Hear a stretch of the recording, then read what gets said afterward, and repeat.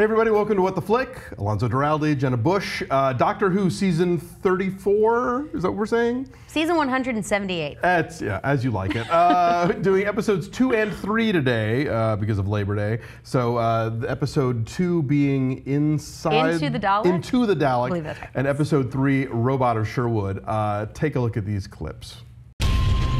No damsels in distress, no pretty castles, no such thing as Robin Hood. Can you be so sure he is not the real thing? Because he can't be. What do you say, outlaw? A final reckoning?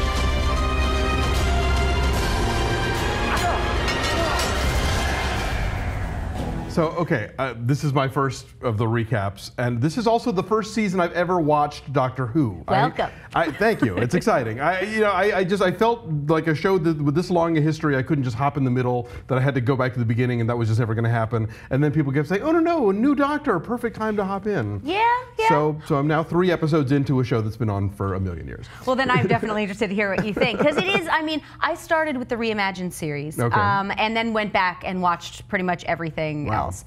Um, yeah, I don't sleep. So, but uh, but a new Doctor is a really good time to jump in. So I'm curious what you think of him. Okay. Well, um, you know, I'm a Peter Capaldi fan from way back, and from like local hero, uh, and I loved obviously him in, in the Loop and stuff. So, so you know, I was excited. It's like, okay, I've heard of this guy. I'm in. You know, uh, and the show itself is entertaining enough. I mean, I I know enough about Doctor Who to realize that there are references being made that I don't get, but I know that they're there. So that's a start, I guess. And um, you know, I I, I kind of like the I like the sense of humor to the show. You know, for example, with the episode three, Robot of Sherwood, uh, I was kind of thinking, oh God, I, I was so not interested in Robin Hood, and then neither is the Doctor, as it turns out. so I was like, okay, we're on the same page here, you know. And and I know the Daleks are a big deal, but that, that was actually the first Dalek Hey, episode I've ever watched. You This are my indeed. Dalek dress. Nice. Uh, so that was kind of good. Like I got the I, I got the notion that a, a Dalek that is that, it, that doesn't want to exterminate is a mutant Dalek Yes, somehow. So, yes. uh, so like, okay, let's go back to episode two. Uh, uh, take us through that one. Okay, so um, this is this is sort of interesting the way that all right. So we're talking about whether or not the Doctor is a good man, Right. and whether he can save a creature that is purely evil. If he can save that, he can save himself. He's Doctor's had a rough time lately. um, he's he- there have been genocides. There he's had a lot of moral stuff to deal with, and after the last um, the- last regeneration, he's starting to question himself. Peter Capaldi's a very, very, very different Doctor than we've seen. Um, he's, as they said, not the boyfriend Doctor. Right. Um, he is he's uh, he's grumpy. He's a grumpy doctor, and I love him. Like Yeah. to, to be fair, I absolutely love him. Um, but he's he's very different, and I think this episode was a little bit odd. I'm not I'm not saying I have a problem with it, but he was really sort of cavalier about killing people or people dying.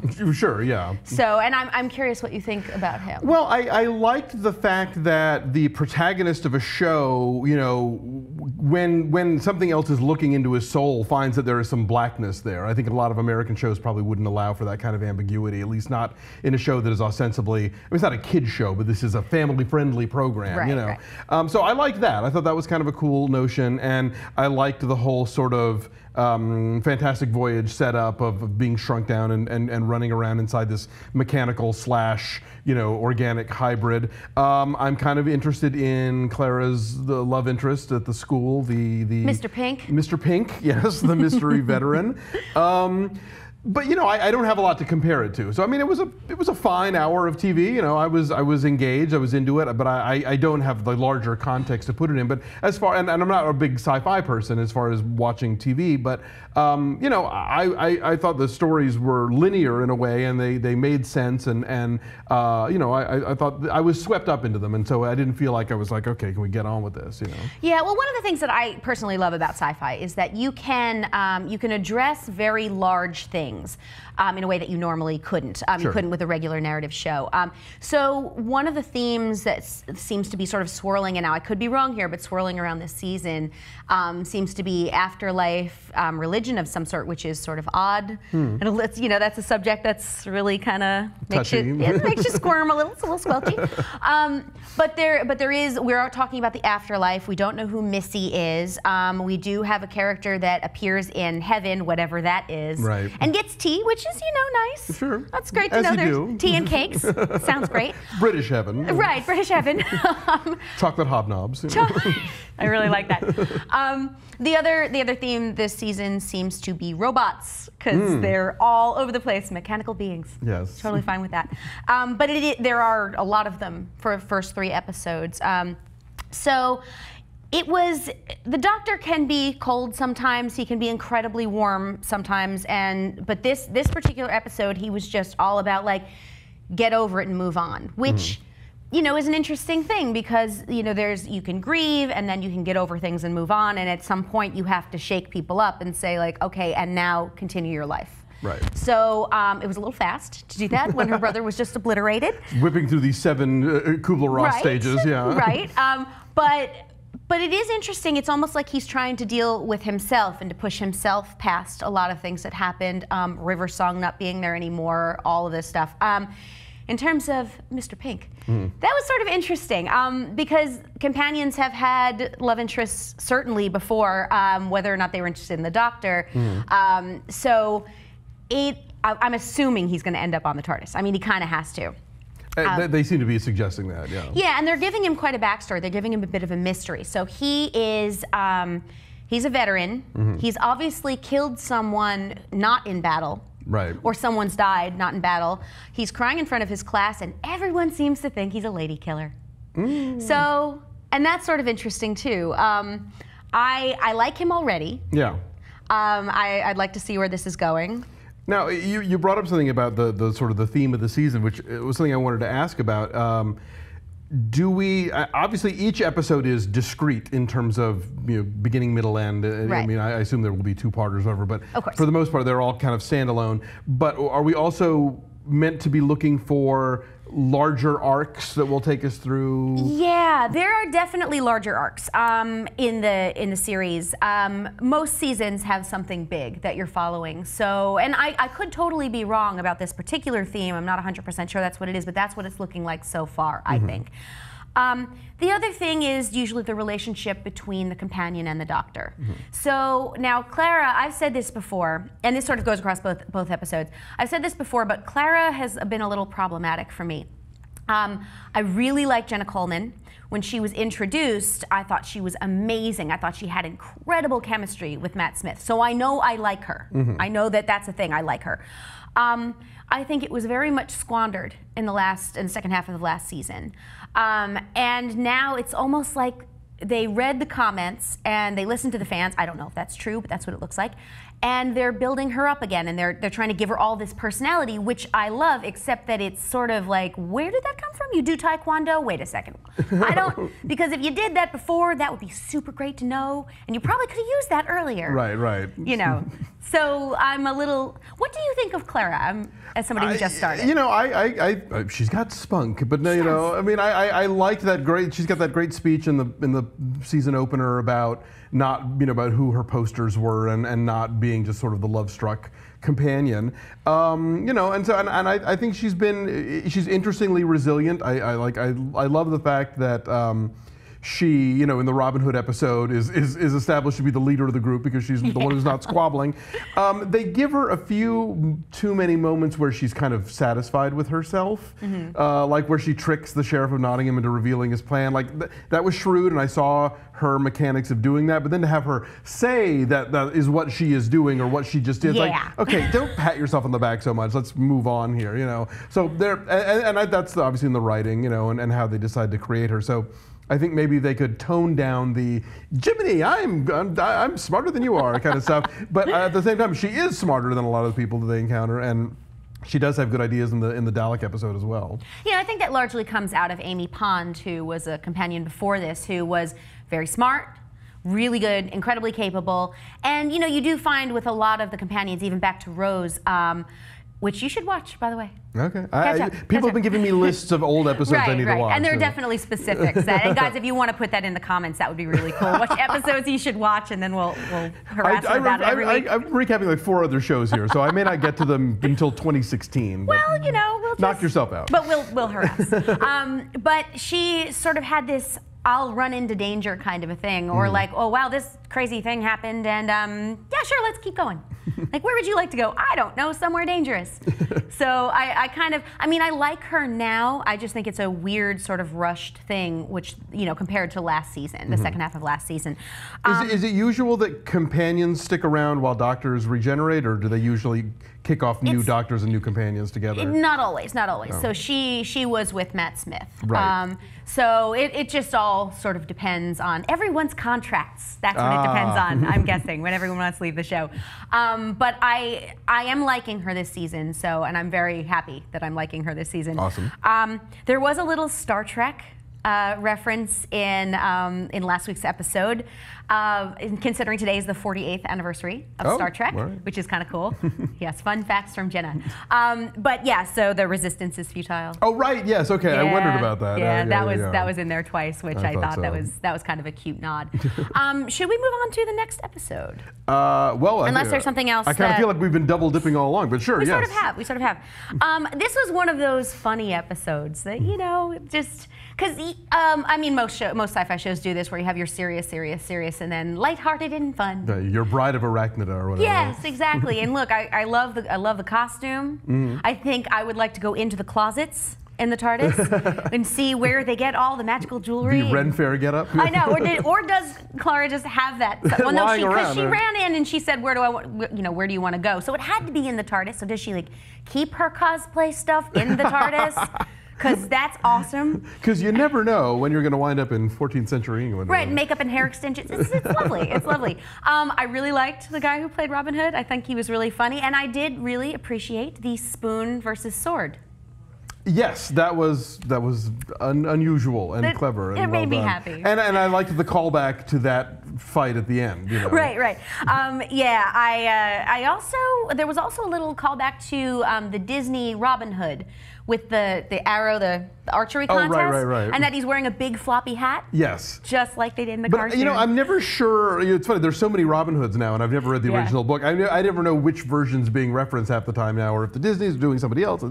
Um, I, it, it- I mean, that was a really crappy costume. Apart from giant bad. hat, like that's it. That's So bad. You're going to enter a contest with a giant hat, and no one's going to recognize you. It's okay, sort great. of like the little the little tiny um, you know Zorro masks. And you're like, This is true. I'm different. Lone Ranger mask.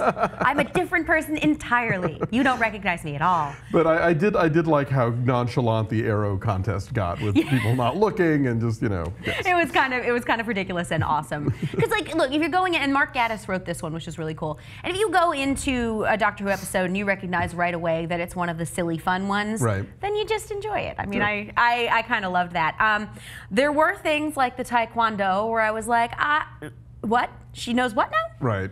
And you know, I sort of I sort of felt that way about the um, the slap at the week before. He's like, really? What? You know, all right. Okay. Yeah, no, I'm that's on board. no. That, that's the problem. Once you create canon, you know, you really can't muss about with it because then suddenly, well, then how come in episode eight last year she didn't do the? Yeah, why didn't you know? do the taekwondo, Right. Clara? Just tell me. um, okay, so the other thing is the um, the arrow, the gold arrow, which, by the way, I think would be kind of heavy. I mean, I have not lifted quantities of gold, but from what I, I know, it's not mm, light. True, a bar, yeah. But anyway, so we Maybe it was we- hollow. Right. So we need all the gold, and we just have to shoot it so it sticks on the outside of the ship, and then. But if that's the case, then why were we pouring it into things? I don't know. Because don't- oh, science. yeah, I- I- because science. yeah, I kind of blah blah blah gingered that part. It's like, Yeah. okay, sure, whatever. That's You know, great. and I, I think a lot of times with shows, if you love it, you're willing to do that. And Yeah. I was willing to do that. But guys, if there is some kind of thing that I'm unaware of science wise, and you want to let us know in the comments, I would love to hear it. I mean, it was still fun. It was, Yeah. just, but I was just sort of like, well, if okay. if Bibbs were here, he would say because reasons. because reasons. So, I, you know. yeah. Well, we, we also we've done other shows together, Bibbs and I. So we, we both say because reasons. So I appreciate. Um, and okay, so the other thing is the promised land, and the robots are all looking for the promised land. Mm-hmm. Any any speculation about that? Oh God, I have no idea. Is, is this, is this a seed for something bigger that's coming? Uh, I'm assuming. I'm assuming that it is. Um, which Robot is Nirvana? Robot Nirvana. We have Heaven with Missy. We don't know who Missy is, Mm-hmm. so I'm guessing that that's that's why I'm sort of sensing that sort of theme. Um, Gotcha. and you know, like I said about the religion before, I mean, it may very well because uh, one of the things that because I thought, oh well, we're not gonna we're not gonna go there. We may reference sort a sort of a religion, but we're not really gonna go there. We're Right. just gonna talk about this promised land, this heaven with Missy that is another dimension or something to do with the inside of the doctor's head or people he sees, something like that. But they do mention I've seen in um, in the the earlier episode I've seen divinity and you're like oh are we are we doing that? They might go into the Star Trek Five direction, Yeah, you know, yeah, kind yeah. of a vaguely mushy, god-ish thing without offending anyone specifically. Yeah, because sci-fi like you know it's, a, it's, it's see it seemed a little weird to me Yeah. like and there's, I there's the passing nod, and then they keep walking. you know. right right I think maybe that's good. Yeah, which is fun. Plenty. I, let's let's not get mucked up into into the into the divine too much. It's- Yeah, it's yeah. So- spiritual taffy. It's it's maybe best. Yeah. Um, but I'm I'm so I'm curious what you're thinking about about where the doctor may be going, coming as somebody Oh, who's like completely fresh to. Uh, you know, I, I don't. I honestly, don't, I mean, I don't know what a what a normal doctor trajectory would be. So, I mean, I'm really coming into this very cold. Uh, There isn't one. Yeah, uh, you know, I mean, uh, I, I think obviously he has, you know, they, they, they, they tease in the first episode there's things he doesn't remember, there's, uh, you know, that, that, that, that, that he's acting differently and that, you know, there's a reason that he's been reconstant, regenerated to look older or to, you know, And have this these specific lines. body. Exactly, right, which uh, I've heard some people suggest because Capaldi was on the show once as another character. Uh-huh. Is that going to be a callback or a complicated way to sort of justify why he's here now when he was there then and blah, blah, blah. So I, I'm just sort of letting back, laying back and letting it just tell me. They go have a wiki for this. It's know. maybe. It, it's helpful. I'm, I'm on it a lot. Um, Okay. well, yeah, and it is interesting because they he was on um, the Fires of Pompeii, I believe was the episode, and um, and so was Karen Gillan, Ah. who they never referenced her appearance, but it would be interesting if they Now, referenced is she his. lizard lesbian or No, no, she was a last companion, Amy Oh, Pond. oh, oh, gotcha, Yeah, okay, yeah. gotcha. Lizard lesbian, I like that. Madame Vastra. Yes. Yeah, yeah. Um, and also, um, we there have been a, a number of things, and we mentioned it in the last episode, but a number of things about the kiss and whether or not they kind of cheesed out a little bit, Oh, right. making the the kiss between two married people who are clearly in love be just about. Oh, I've got extra oxygen for you. So here you go. This is the only delivery system I can think of. Instead of saying like, "Hey, maybe they're in love and married and would just kiss." Look, I've seen more gay kiss misdirects over the last couple of decades. At this point, it's like, fine, baby steps, whatever you have to do, people. I know, I know, but they're so cute, and I know. Um, I read a lot of the And comments. BBC has those like shows where like there's hot gay cops making Yeah. out and stuff. So you know they they they, they know who their audience is on Doctor. Yeah, like, you please, know. yes, So totally. maybe maybe we get over that. And I know people in the comments last week. First of all, I, I was not watching BBC. As I said in many of the comments, I was watching Channel 4, which is why I was seeing breaks. So forgive me for that.